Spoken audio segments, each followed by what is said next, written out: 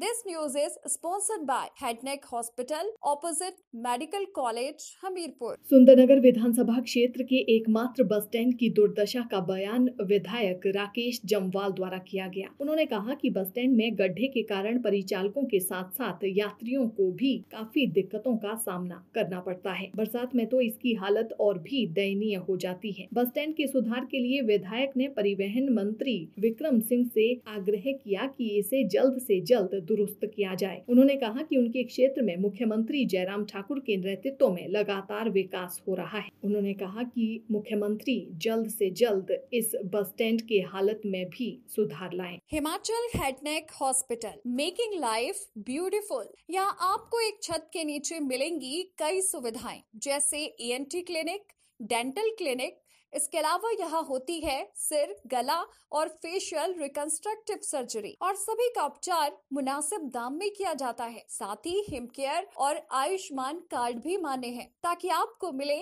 बेहतर इलाज और आप जिए बेहतर ज़िंदगी। हमारा पता है Himachal head neck centre at doctor A S Thakur memorial multi speciality hospital near Nadaun Chowk Hamirpur